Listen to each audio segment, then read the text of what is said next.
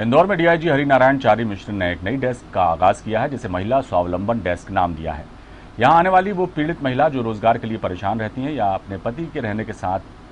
रहने के बाद भी वो अपने जीवन यापन के लिए समस्याओं से जूझती हैं, ऐसी महिलाओं का यहाँ पर उनकी बात सुनी जाएगी, उनका निवारण किया जाएगा और ये डेस्क महिलाओं के लिए ही काम करेगी। अपराधों को लेकर के पुलिस हमेशा से संवेदनशील रही है और ऐसे मामलों में त्वरित और बड़ी दृढ़ता से कार्रवाई की जाती रही है। इस कड़ी में आज एक नया आयाम जुड़ा है, जिसमें मुख्य तौर पर वैसे महिलाएँ जो कि पारिवारिक और घरेलू हिंसा का शिकार रही हैं, उन महिलाओं की मदद के लिए पुलिस ने एक नया डेस्क स्थापित किया।